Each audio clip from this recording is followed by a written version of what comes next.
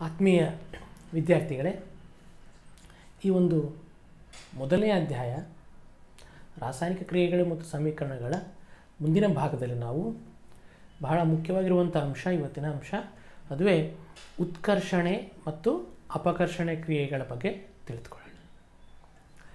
So ಈಗ ಉತ್ಕರ್ಷಣೆ ಅಂದಾಗ, ಅದಕ್ಕೆ ನಾವು ಇಂಗ್ಲೀಷಲ್ಲಿ ಆಕ್ಸಿಡೈಷನ್ ಅಂತ ಹೇಳ್ತೀವಿ ಆಕ್ಸಿಡೈಷನ್ ಈ ಉತ್ಕರ್ಷಣೆ ಅನ್ನೋದು ಏನು ಅಂತ ತಿಳ್ಕೊಳ್ಳೋಕ್ಕಿಂತ ಮುಂಚೆ ನಾವೊಂದು ಪ್ರಯೋಗ ಮಾಡೋಣ ಈ ಪ್ರಯೋಗದಲ್ಲಿ ನಾವು ಪ್ರಯೋಗಕ್ಕೆ ಬಳಸಲಾಗುವ ಹೀಟಿಂಗ್ ಫರ್ನೆನ್ಸ್ ಉಷ್ಣಕ ಉಷ್ಣ ನೀಡಲು ಬಳಸಿರುವಂಥ ಒಂದು ವ್ಯವಸ್ಥೆಯನ್ನು ಮಾಡ್ಕೊಂಡಿದ್ದೇವೆ. ಅದಕ್ಕೆ ಒಂದು ಬುನ್ಸನ್ ಬರ್ನರ್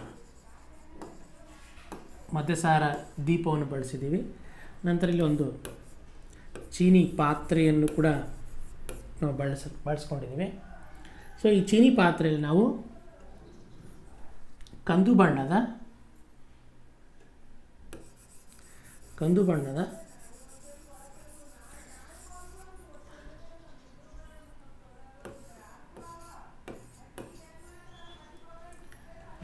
ತಾಮ್ರದ ಪುಡಿಯನ್ನು ಬಳಸಲಾಗಿದೆ. ನಂತರ ಮಧ್ಯಸಾರ ದೀಪದನ್ನು ಕಾಯಿಸಬೇಕಾಗ್ತದೆ ಇದು ನಮ್ಮ ಪ್ರಯೋಗದ ಒಂದು ಪೂರ್ವ ತಯಾರಿಯಾಗಿರುತ್ತೆ. ಚೀನಿ ಪಾತ್ರೆಯಲ್ಲಿ ತಾಮ್ರವನ್ನು ಬಳಸಿಕೊಂಡು ಕೆಳಗಡೆ ಮಧ್ಯಸಾರ ದೀಪದಿಂದ ಅದಕ್ಕೆ ಕಾಯಿಸಬೇಕು. ಸೊ, ಈಗ ಕಾಯಿಸೋಣ. ಕಾಯ್ತಾ ಇದೆ.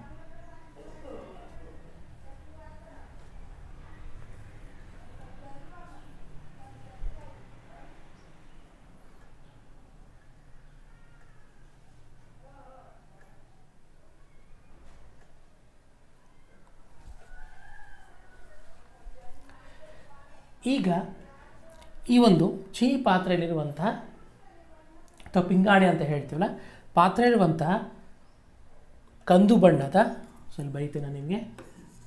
ಬ್ರೌನ್. ಕಂದು ಬಣ್ಣದ ತಾಮ್ರದ ಪುಡಿಯು ಉಷ್ಣ ನೀಡಿದಾಗ ಅದು ಆಕ್ಸಿಜನನ್ನು ಬಳಸಿಕೊಂಡು ಆಕ್ಸಿಜನ್ನು ಬಳಸಿಕೊಂಡು ಕೊನೆಗೆ ಒಂದು ಕಪ್ಪು ಬಣ್ಣದ ಪುಡಿಯಾಗಿ ಪರಿವರ್ತನೆ ಆಗ್ತದೆ. ಈ ರಾಸಾಯನಿಕ ಕ್ರಿಯೆಯಲ್ಲಿ ಕಂದು ಬಣ್ಣದ, ತಾಮ್ರದ ಪುಡಿಯು ಆಮ್ಲಜನಕವನ್ನು ಬಳಸಿಕೊಂಡಾಗ ಅದು ಕಪ್ಪು ಬಣ್ಣದ ಒಂದು ವಸ್ತುವಾಗಿ ಬಳಸಿ, ಬದಲಾವಣೆ ಆಗ್ತದೆ. ಸೊ ಈಗ ಪ್ರಯೋಗದಲ್ಲಿ ಏನಾಯಿತು ಅನ್ನುವಂಥದ್ದು ನಾವು ನೋಡೋದಾದರೆ, ಒಂದು ಬದಲಾವಣೆ, ಒಂದೇ ಬದಲಾವಣೆ. ತಾಮ್ರವು ಕಂದು ಬಣ್ಣದ ತಾಮ್ರದ ಪುಡಿಯು ವರ್ತಿಸಿದಾಗ, ಆಮ್ಲಜನಕದ ವರ್ತಿಸಿದಾಗ ನಮಗೆ ಕಪ್ಪು ಬಣ್ಣದ್ದಾಗಿದೆ ಹಾಗಾದರೆ ಈ ಕಪ್ಪು ಬಣ್ಣದ ರಾಸಾಯನಿಕ ವಸ್ತು ಯಾವುದು ಅಂತ ನೋಡಿದ್ರೆ ಅದುವೇ ಸಿ ಯು ಒ, ತಾಮ್ರದ ಆಕ್ಸೈಡ್ ಆಗಿ ಪರಿವರ್ತನೆ ತಾಮ್ರದ ಆಕ್ಸೈಡ್ ಆಗಿ. ಹಾಗಾದರೆ ಇಲ್ಲಿ ಒಂದು ಧಾತುವು ಆಮ್ಲಜನಕವನ್ನು ಪಡೆದುಕೊಂಡಾಗ ಆಯಿತು ಆಮ್ಲಜನಕವನ್ನು ಪಡೆದುಕೊಂಡ ಹಾಗಾಯಿತು. ಸೊ ಹಾಗಾಗಿ ರಾಸಾಯನಿಕ ಕ್ರಿಯೆಯಲ್ಲಿ ಈ ರೀತಿ ಆಮ್ಲಜನಕವನ್ನು ಗಳಿಸಿಕೊಳ್ಳುವ, ಪಡೆದುಕೊಳ್ಳುವ ರಾಸಾಯನಿಕ ಕ್ರಿಯೆಗೆ ನಾವೇನಂತ ಕರಿತೀವಿ ಅಂದರೆ ಉತ್ಕರ್ಷಣೆ ಕ್ರಿಯೆ ಅಂತ ಹೇಳ್ತೀವಿ. ಸೊ ಇಲ್ಲಿ ನೋಡಿ ಡೆಫಿನೇಷನ್ ಇದೆ. ಯಾವ ರಾಸಾಯನಿಕ ಕ್ರಿಯೆಯಲ್ಲಿ ಆಮ್ಲಜನಕವನ್ನು ಪಡೆದುಕೊಳ್ಳುವ? ಈಗಾಗಲೇ ನಾವು ನಮ್ಮ ರಾಸಾಯನಿಕ ಕ್ರಿಯೆಯಲ್ಲಿ ಆಮ್ಲಜನಕವನ್ನು ಪಡೆದುಕೊಂಡ ಹಾಗಾಯಿತು. ಆಮ್ಲಜನಕವನ್ನು ಪಡೆದುಕೊಳ್ಳುವ ಇನ್ನೊಂದು ರೀತಿಯಲ್ಲಿ ಅಥವಾ ಹೈಡ್ರೋಜನನ್ನು ಹೈಡ್ರೋಜನನ್ನು ಕಳೆದುಕೊಳ್ಳುವ, ಹೈಡ್ರೋಜನನ್ನು ಕಳೆದುಕೊಳ್ಳುವಂತಹ ಕ್ರಿಯೆ ನಾವು ಉತ್ಕರ್ಷಣೆ ಕ್ರಿಯೆ ಅಂತ ಹೇಳ್ತೇವೆ. ಇಲ್ಲಿ ಕೆಲವೊಂದು ರಾಸಾಯನಿಕ ಕ್ರಿಯೆಯಲ್ಲಿ ಆಮ್ಲಜನಕ ಇದ್ದಾಗ ಆಮ್ಲಜನಕವನ್ನು ನಾವು ಗಮನವಹಿಸಬೇಕು ಅಲ್ಲಿ ಆಮ್ಲಜನಕ ಪಡೆದುಕೊಂಡ ಹಾಗಿದೆ. ಒಂದು ವೇಳೆ ರಾಸಾಯನಿಕ ಕ್ರಿಯೆಯಲ್ಲಿ ಆಮ್ಲಜನಕ ಇಲ್ಲ ಇಲ್ಲದಿರುವಂಥ ಪರಿಸ್ಥಿತಿಯಲ್ಲಿ ನಾವು ಹೈಡ್ರೋಜನ್ ನೋಡಬೇಕು. ಅಲ್ಲಿ ಹೈಡ್ರೋಜನನ್ನು ಕಳೆದುಕೊಳ್ಳುವ ಕ್ರಿಯೆ ನೋಡಬೇಕು. ಆಮ್ಲಜನಕ ಪಡೆದುಕೊಳ್ಳಬೇಕು. ಅದಕ್ಕೆ ವಿರುದ್ಧವಾಗಿ ಹೈಡ್ರೋಜನ್ನು ಕಳೆದುಕೊಳ್ಳುವ ಕ್ರಿಯೆಗೆ ನಾವೇನಂತ ಕರಿತೀವಿ ಅಂದರೆ ಉತ್ಕರ್ಷಣೆ ಕ್ರಿಯೆ ಅಂತ ಕರಿತೀವಿ. ಈಗ ನಾನು ರಾಸಾಯನಿಕ ಸಮೀಕರಣ ಬರೆದಿದ್ದೆ ನೋಡಿ. ಸಿ ಯು ಕಂದು ಬಣ್ಣದ ತಾಮ್ರದ ಪುಡಿ. ಇದು ಆಮ್ಲಜನಕದೊಂದಿಗೆ ವರ್ತಿಸಿದಾಗ ಉಷ್ಣಕ್ಕೆ ಬೇಕಾಗಿರುವಂಥ ವಸ್ತು. ಸೊ ಇಲ್ಲಿ ಉಷ್ಣ ಅಂತ ಬರ್ತೀನಿ. ಅದು ತಾಮ್ರದ ಆಕ್ಸೈಡ್ ಆಗಿ ಪರಿವರ್ತನೆ ಆಗುತ್ತೆ. ಇಲ್ಲಿ ರಾಸಾಯನಿಕವಾಗಿ ಸರಿದೋಗಿಲ್ಲ.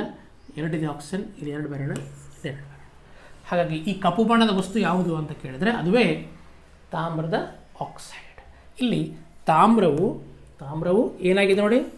ಏನು ಪಡೆದುಕೊಂಡಿದೆ? ಆಕ್ಸಿಜನನ್ನು ಪಡೆದುಕೊಂಡಿದೆ. ಹಾಗಾಗಿ ತಾಮ್ರದ ಆಕ್ಸೈಡ್ ಆಗಿ ಪರಿವರ್ತನೆ ಆಗಿದೆ. ಇಲ್ಲಿ ಸಿಯು ತಾಮ್ರವು ತಾಮ್ರದ ಆಕ್ಸೈಡ್ ಆಗಿ ಪರಿವರ್ತನೆಯಾಗಿದೆ ಹಾಗಾದರೆ ಸಿಯು ತಾಮ್ರ ಪುಡಿಯು ಉತ್ಕರ್ಷಣೆಗೊಂಡು ಉತ್ಕರ್ಷಣೆಗೊಂಡು ಸಿ ಯು ಒ ಅಥವಾ ತಾಮ್ರದ ಆಕ್ಸೈಡ್ ಆಗಿ ಪರಿವರ್ತನೆ ಆಗಿದೆ. ಇನ್ನೊಂದು ಉದಾಹರಣೆ ನೋಡೋಣ. ನಾವು ಹಿಂದಿನ ಒಂದು ಉದಾಹರಣೆಗಳ ಪೈಕಿ ಒಂದು ಸೋಡಿಯಂ ಲೋಹವು ತೆರೆದಿಟ್ಟ ಗಾಳಿಯೊಂದಿಗೆ ವರ್ತಿಸಿದಾಗ ಸೋಡಿಯಂ ಆಕ್ಸೈಡ್ ಆಗಿ ಪರಿವರ್ತನೆ ಆಗುತ್ತೆ. ಇಲ್ಲಿ ಕೂಡ ರಾಸಾಯನಿಕವಾಗಿ ಸರಿದೂಗಿಲ್ಲ. ಹಾಗೆ ಸರಿದೂಗಿಸೋಣ. ಇಲ್ಲಿ ನೋಡ್ತಿರ್ಬೋದು ಸೋಡಿಯಂ ಒಂದು ಧಾತು. ಇದು ಸೋಡಿಯಂ ಆಕ್ಸೈಡ್ ಆಗಿ ಪರಿವರ್ತನೆ ಆಗಿದೆ. ಅಂದರೆ ಏನು ಪಡೆದುಕೊಂಡಿದೆ? ಇಲ್ಲಿ ಆಕ್ಸಿಜನನ್ನು ಆಕ್ಸಿಜನನ್ನು ಪಡೆದುಕೊಂಡಿದೆ. ಹಾಗಾಗಿ ಇಂತಹ ಒಂದು ರಾಸಾಯನಿಕ ಕ್ರಿಯೆಗೆ ನಾವೇನಂತ ಕರಿತೀವಿ ಅಂದರೆ ಉತ್ಕರ್ಷಣೆ ಕ್ರಿಯೆ ಅಂತ ಕರಿತೀವಿ. ಯಾವ ರಾಸಾಯನಿಕ ಕ್ರಿಯೆಯಲ್ಲಿ ಆಮ್ಲಜನಕವನ್ನು ಪಡೆದುಕೊಳ್ಳುವ ಕ್ರಿಯೆ. ಸೊ ಮತ್ತೊಂದು ಉದಾಹರಣೆ ಅದೇ ಥರದ ಉದಾಹರಣೆ. ಮ್ಯಾಗ್ನೀಷಿಯಂ ಕೂಡ ಆಮ್ಲಜನಕ ತೋರಿಸಿದಾಗ ಮ್ಯಾಗ್ನೀಷಿಯಂ ಆಕ್ಸೈಡ್ ಆಗಿ ಪರಿವರ್ತನೆ ಆಗಿದೆ. ಇಲ್ಲಿ ಕೂಡ ಆಮ್ಲಜನಕವನ್ನು ಗಳಿಸಿಕೊಂಡಿದೆ. ಹಾಗಾಗಿ ಮ್ಯಾಗ್ನೀಷಿಯಂ ಆಕ್ಸೈಡ್ ಆಗಿ ಪರಿವರ್ತನೆ. ಈಗ ಮುಂದಕ್ಕೆ ಹೋಗೋಣ. ಅಪಕರ್ಷಣೆ ಕ್ರಿಯೆ ರಿಡಕ್ಷನ್ ರಿಯಾಕ್ಷನ್ ಉತ್ಕರ್ಷಣೆಗೆ ವಿರುದ್ಧವಾದ ಪ್ರತಿಕ್ರಿಯೆ. ಉತ್ಕರ್ಷಣೆಯಲ್ಲಿ ಆಮ್ಲಜನಕವನ್ನು ಪಡೆದುಕೊಳ್ಳುವ ಅಂತ ಹೇಳಿದ್ದೇವಲ್ಲ, ಇಲ್ಲಿ ಅಪಕರ್ಷಣೆಯಲ್ಲಿ ಆಮ್ಲಜನಕವನ್ನು ಕಳೆದುಕೊಳ್ಳುವ ಅಥವಾ ತೆಗೆದುಹಾಕುವ ಕ್ರಿಯೆಗೆ ನಾವೇನಂತ ಕರಿತೀವಿ? ಅಪಕರ್ಷಣೆ ಅಂತ ಕರಿತೀವಿ. ಈಗ ಇದೇ ಪ್ರಯೋಗದಲ್ಲಿ ನಾವು ಮಾಡಿರುವ ಪ್ರಯೋಗದಲ್ಲಿ ಈ ಕಪ್ಪು ಬಣ್ಣದ ತಾಮ್ರದ ಆಕ್ಸೈಡ್ ಏನು ಬಂದಿರುತ್ತಲ್ಲ, ಇದಕ್ಕೆ ನಾವು ಹೈಡ್ರೋಜನ್ ಅನಿಲವನ್ನು ಹೈಡ್ರೋಜನ್ ಅನಿಲವನ್ನು ನೀವೇನಾದರೂ ಅದಕ್ಕೆ ಕಳುಹಿಸಿದಾಗ ಕಳುಹಿಸಿದಾಗ ಮತ್ತೆ ಈ ಕಪ್ಪು ಬಣ್ಣದ ಕಪ್ಪು ಬಣ್ಣದ ತಾಮ್ರದ ಆಕ್ಸೈಡ್ ತಾಮ್ರದ ಆಕ್ಸೈಡ್, ಕಂದು ಬಣ್ಣದ ತಾಮ್ರವಾಗಿ ಮತ್ತು ನೀರು ಬಿಡುಗಡೆ ಆಗ್ತದೆ. ಅಂದರೆ ಹೈಡ್ರೋಜನ್ ಕಳುಹಿಸೋದರ ಮೂಲಕ ನಮಗೆ ಅಲ್ಲಿ ಮತ್ತೆ ನಾವು ತಾಮ್ರದ ಪುಡಿಯನ್ನು ಕಂದು ಬಣ್ಣದ, ಕಪ್ಪು ಬಣ್ಣ ಇರುವಂಥ ತಾಮ್ರವನ್ನು ಕಂದು ಬಣ್ಣದ ತಾಮ್ರದ ಪುಡಿಯನ್ನಾಗಿ ಬಳಸ್ಕೊಳ್ಬೋದು ಯಾವಾಗ? ಹೈಡ್ರೋಜನ್ನು ಕಳುಹಿಸೋದ್ರ ಮೂಲಕ. ಅದನ್ನೇ ನಾವು ರಾಸಾಯನಿಕ ಕ್ರಿಯೆಯ ಮೂಲಕ ನೋಡೋಣ. ಸೊ ಇಲ್ಲಿದೆ ನೋಡಿ. ಈಗಾಗಲೇ ನಾವು ಪಡೆದುಕೊಂಡಿರುವ ಕಪ್ಪು ಬಣ್ಣದ ತಾಮ್ರದ ಆಕ್ಸೈಡ್ ನಾವು ಹೈಡ್ರೋಜನ್ ಅನಿಲವನ್ನು ಕಳುಹಿಸೋದ್ರ ಮೂಲಕ ನಾವು ಮತ್ತೆ ಕಂದು ಬಣ್ಣದ ತಾಮ್ರವನ್ನು ಜೊತೆಗೆ ನೀರು ಕೂಡ ಬೀಳಾಗ್ತದೆ ಸೊ ಇಲ್ಲಿ ಗಮನಿಸುವ ಅಂಶ ಏನು ಅಂತಂದರೆ, ಇಲ್ಲಿ ನೋಡಿ ಸಿ ಯು ಓ ಅಂದರೆ ತಾಮ್ರದೊಂದಿಗೆ ಆಕ್- ಆಕ್ಸಿಜನ್ ಇದೆ. ಸಿ ಯು ಆಮ್ಲಜನಕ ಇಲ್ಲ. ಅಂದರೆ ಯಾವ ರಾಸಾಯನಿಕ ಕ್ರಿಯೆಯಲ್ಲಿ ಆಮ್ಲಜನಕವನ್ನು ಕಳೆದುಕೊಳ್ಳುವ ಕ್ರಿಯೆ ಇದೆಯಲ್ಲ ಅದು ಅಪಕರ್ಷಣ ಕ್ರಿಯೆ. ಸೊ ಇದಕ್ಕೆ ನಾವು ಡೆಫಿನಿಷನ್ ನೋಡೋಣ. ರಾಸಾಯನಿಕ ಕ್ರಿಯೆಯಲ್ಲಿ ಆಮ್ಲಜನಕವನ್ನು ಕಳೆದುಕೊಳ್ಳುವ ಅಥವಾ ಹೈಡ್ರೋಜನನ್ನು ಪಡೆದುಕೊಳ್ಳುವ ಕ್ರಿಯೆ. ಈಗ ನಾವೇನಂತ ಕರಿತೀವಿ ಅಂದರೆ ಅಪಕರ್ಷಣ ಕ್ರಿಯೆ ಅಂತ ಕರಿತೀವಿ. ಸೊ ಇಲ್ಲಿ ನೋಡ್ಬೋದು ಆಮ್ಲಜನಕ ಕಳೆದುಕೊಂಡಿದೆ. ಹಾಗಾಗಿ ಇದು ಅಪಕರ್ಷಣ ಕ್ರಿಯೆಗೆ ಮತ್ತೊಂದು ಉದಾಹರಣೆ. ಇನ್ನೂ ಕೆಲವೊಂದು ಸನ್ನಿವೇಶದಲ್ಲಿ ಇನ್ನೂ ಕೆಲವೊಂದು ಸನ್ನಿವೇಶದಲ್ಲಿ ರಾಸಾಯನಿಕ ಕ್ರಿಯೆಯಲ್ಲಿ ಆಮ್ಲಜನಕ ಕಳೆದುಕೊಳ್ಳುವ, ಆಮ್ಲಜನಕ ಪಡೆದುಕೊಳ್ಳುವ. ಹಾಗಾಗಿ ಎರಡೆರಡು ರಾಸಾಯನಿಕ ಕ್ರಿಯೆಗಳು ಒಂದೇ ಸನ್ನಿವೇಶದಲ್ಲಿರ್ತವೆ ಅಂಥ ಸನ್ನಿವೇಶದಲ್ಲಿ ಯಾವ್ಯಾವು ಅಂತ ನೋಡಿದ್ರೆ ಇಲ್ಲಿ ನೋಡ್ತಿರ್ಬೋದು ತಾಮ್ರದ ಆಕ್ಸೈಡ್, ಹೈಡ್ರೋಜನ್ ಅನಿಲವನ್ನು ಬಳಸಿಕೊಂಡು ತಾಮ್ರ ಮತ್ತು ನೀರಾಗಿ ಪರಿವರ್ತನೆ ಸೊ ಅಲ್ಲಿ ಗಮನಿಸುವ ಅಂಶ ನಾನು ಎರಡು ತೋರಿಸ್ಕೊಡ್ತೀನಿ ನಿಮಗೆ. ಒಂದು, ತಾಮ್ರದ ಆಕ್ಸೈಡ್, ಅಂದರೆ ಇಲ್ಲಿ ಆಲ್ರೆಡಿ ಆಮ್ಲಜನಕ ಇದೆ. ಇದು ಆಮ್ಲಜನಕವನ್ನು ಕಳೆದುಕೊಂಡು, ಅಂದರೆ ಅಪಕರ್ಷಣೆ. ಆಮ್ಲಜನಕವನ್ನು ಕಳೆದುಕೊಂಡು ತಾಮ್ರವಾಗಿದೆ. ಕಂದು ಬಣ್ಣದ ತಾಮ್ರವಾಗಿದೆ. ಇಲ್ಲಿ ಹೈಡ್ರೋಜನ್ ಆಮ್ಲಜನಕವನ್ನು ಪಡೆದುಕೊಂಡು, ಅಂದರೆ ಉತ್ಕರ್ಷಣೆ. ಪಡೆದುಕೊಂಡು ನೀರಿನ ಅಣುವಾಗಿ ಪರಿವರ್ತನೆ ಆಗಿದೆ.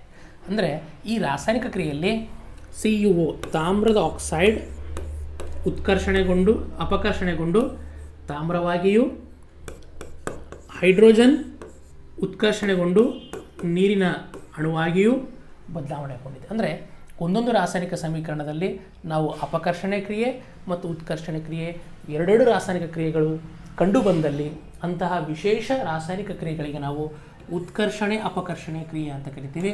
ಸೊ ಅದಕ್ಕೆ ನಾವು ಇನ್ನೊಂದು ಹೆಸರಲ್ಲಿ ರೆಡಾಕ್ಸ್ ಸಮೀಕರಣಗಳು ಅಂತ ಕೂಡ ಹೇಳ್ತೀವಿ. ಇದು ಹತ್ತನೇ ತರಗತಿಯ ಪರೀಕ್ಷಾ ದೃಷ್ಟಿಯಿಂದ ಬಹಳ ಮುಖ್ಯವಾಗಿರುವಂಥದ್ದು.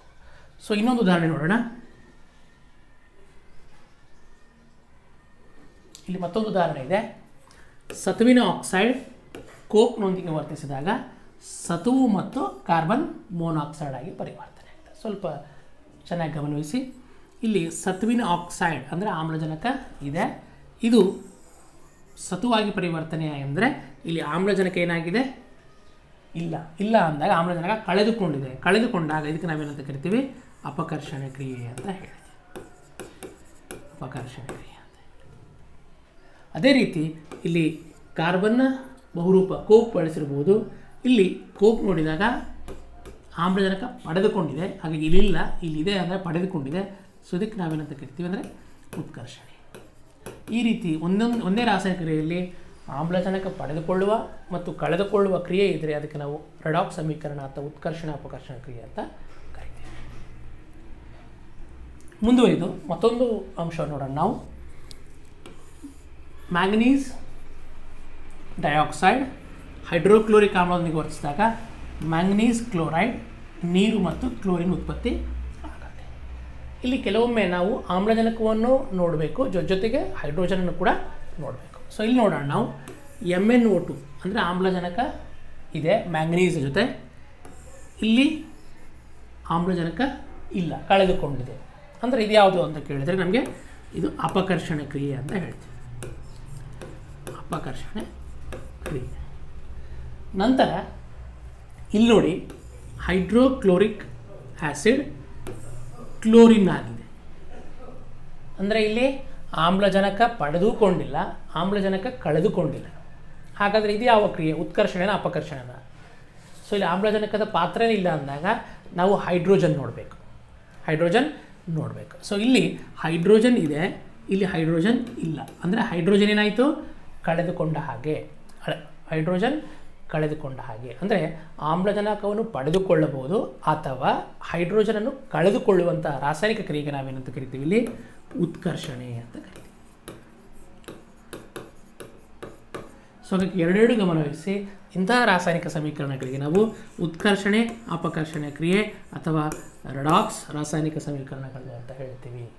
ಹಾಗಾಗಿ ಇಂದಿನ ಒಂದು ತರಗತಿಯಲ್ಲಿ ನಾವು ಉತ್ಕರ್ಷಣೆ, ಅಪಕರ್ಷಣೆ, ಅದಕ್ಕೆ ಇರುವ ವ್ಯತ್ಯಾಸ, ನಂತರ ವಿಶೇಷವಾದ ರೆಡಾಕ್ಸ್ ಸಮೀಕರಣಗಳು ಏನು ಅನ್ನುವಂಥದ್ದು ನೋಡಿದ್ದೇವೆ. ನೀವು ನೀವು ಇನ್ನಿತರ ವಿಜ್ಞಾನ ಪಠ್ಯಪುಸ್ತಕಗಳನ್ನು ನೋಡಿಕೊಂಡು ಈ ಥರ ಉತ್ಕರ್ಷಣೆ, ಅಪಕರ್ಷಣೆ ಮತ್ತು ರಡಾಕ್ ಸಮೀಕರಣಗಳ ಹಲವಾರು ಉದಾಹರಣೆಗಳನ್ನು ಪಟ್ಟಿ ಮಾಡಿ, ಅದರ ಬಗ್ಗೆ ಹೆಚ್ಚಿನ ಅಭ್ಯಾಸ ಮಾಡಿ.